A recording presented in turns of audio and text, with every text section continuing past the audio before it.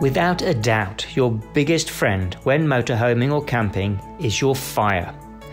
It gives you warmth in the chilly evenings, it's a focal point of camp life, it keeps away unfriendly animals, and of course, you cook on it. Join SA Roadtrippers founder Shaun Sale on a recent motorhoming trip to Namibia as he takes you through the various options and then how to make a fire that you can cook on.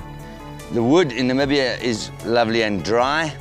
This is a range of doringhout thorn bush wood. There's a variety of different types and in Namibia luckily it's all dry. However, be careful in different parts of the country when you buy wood in plastic bags. Often that wood is not dry and you'll battle to get it going. The other options are charcoal. Charcoal is wood that has been burnt and then quenched at a certain point and briquettes. It's called a briquette. These, it's the charcoal dust is compressed to form this little briquette. However, to keep it to bind so that it doesn't fall apart, they put a lot of starch with. I personally prefer the charcoal. It's more original, it's more natural. However, try and get charcoal that is from a hardwood source. Generally, Namibian charcoal uh, is using hardwood. As you see here, charcoal is often used with a traditional wood fire. Sorry, Shaun. Okay, so how do you make a wood fire? We've got some great dry firewood from Namibia. We've sorted it from thicker pieces to thinner pieces. So obviously starting the fire, we're gonna try and use the thinner pieces first to get it going. The idea when you make a fire is you need to leave enough air that the fire can, can actually breathe. Pack it that there's gaps, and then when you start the fire, the chances are better that the fire can work because there's actually gaps in between. Okay, so we've used Blitz fire lighters to get it going. Let the fire lighters and put it inside. You can see that there's plenty of air so the, the flames can actually move around the wood.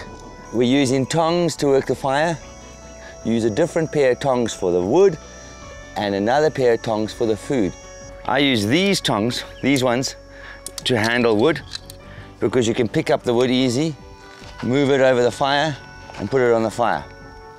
They're easy to go.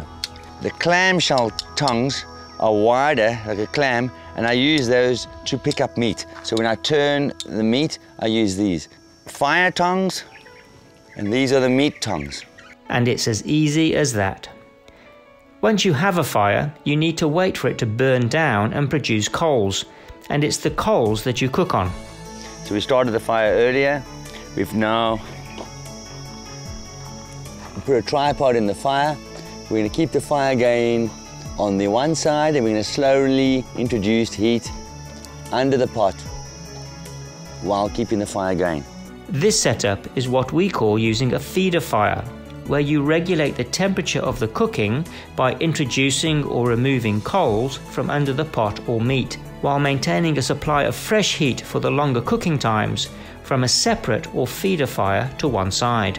If the chicken's cooking too much, you simply just scrape the coals away and when it gets colder you can scrape the coals back. You can also supply heat like this when cooking potatoes or corn wrapped in foil. And that's Shaun's tips for making a perfect fire to cook on. Thanks Shaun. Make sure you watch our other useful tips videos to help you get the most from your motorhoming holiday. We'll see you soon.